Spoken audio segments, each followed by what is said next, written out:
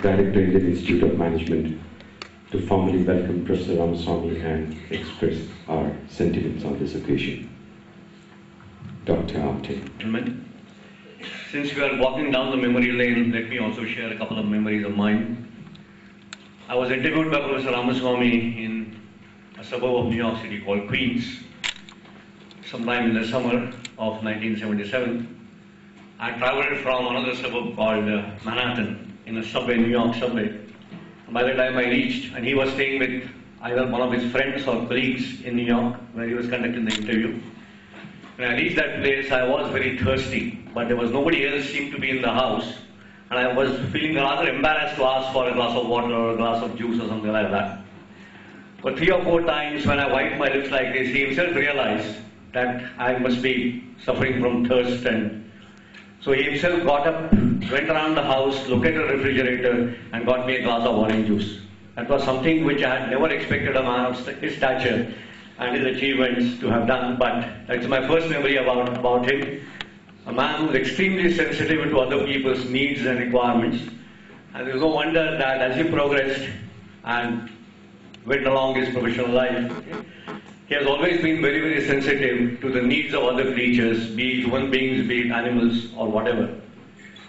Another thing he told me during the interview was that, unlike you have learned of economics and this, that, and the other in, in American school, but start thinking about how you can bring to bear that knowledge on the disadvantaged sections of Indian society and on a lot of inefficient organizations which have been created in India. Okay?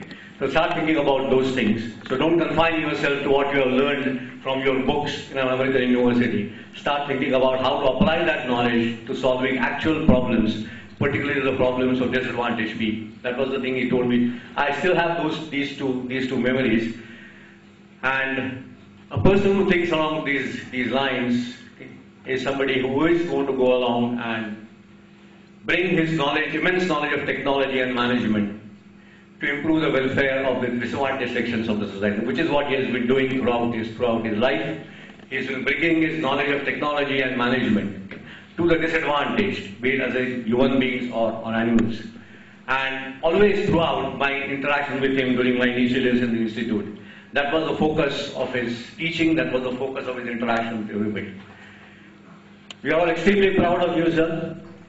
Padma Bhushan, and followed by National Research Professor in Management, the entire IIMB community has worked on the solid foundations you have laid in the initial years of this institute. And building on those solid foundations, the IIMB community has worked to make IIMB the global brand as they call it today. I'll conclude only with one request. Mr. Chikamalaya mentioned that you are always very successful in getting money out of the government. I have been a total failure at that, and I would certainly like a lot of advice and help from you in that matter. Thank you, sir.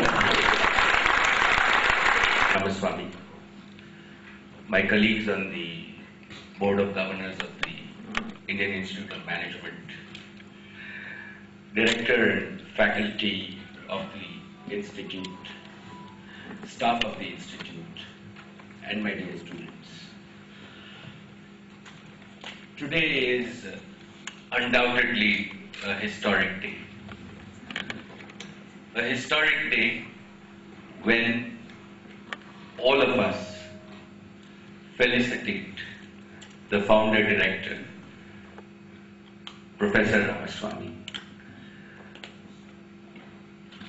My, when I was appointed uh, on the board of governors, I had a short telephonic uh, conversation. And I had told him that I would come and pay my respects.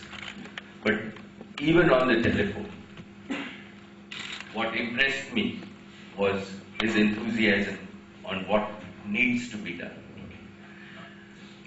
And while I have no anecdotes, uh, like I think that what touches me and give you a sense of his personality just in a few seconds. We were, we were sitting there, and uh, the humility in him is he tells me that I am sorry that you have to go through all this. this is the humility in Professor Ramaswamy that I think all of us need to learn. After so much achievement, I personally, sir, salute this humility.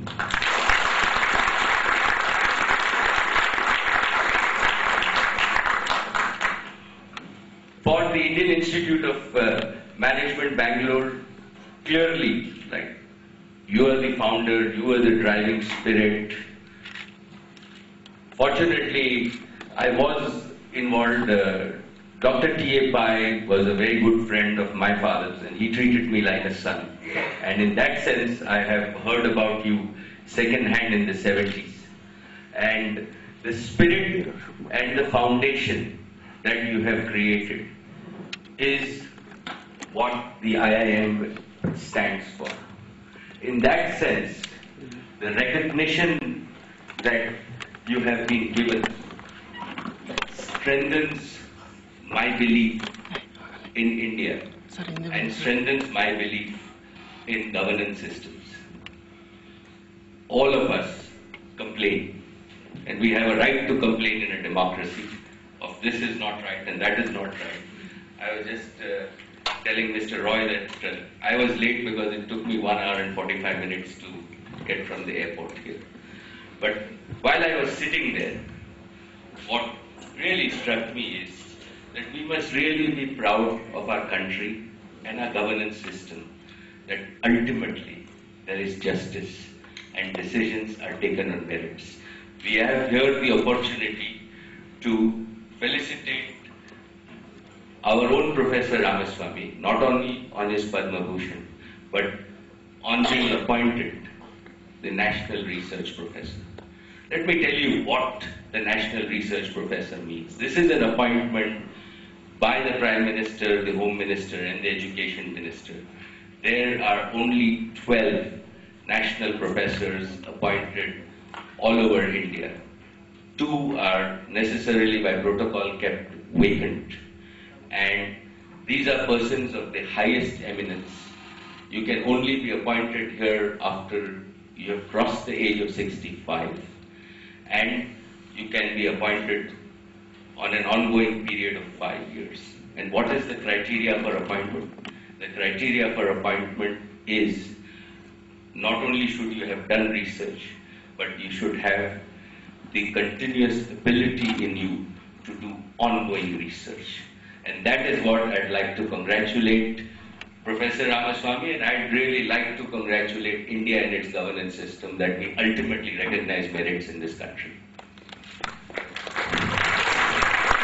At an inflection point where over the next 10, 20 years, the development that has been so close to your heart, right, can be converted into reality. I think what was said is that the problems of distribution can be solved by this generation. The problems of distribution can be solved whereby every rural Indian, every farmer can be linked to a global distribution system that exists. And in that sense, the development of India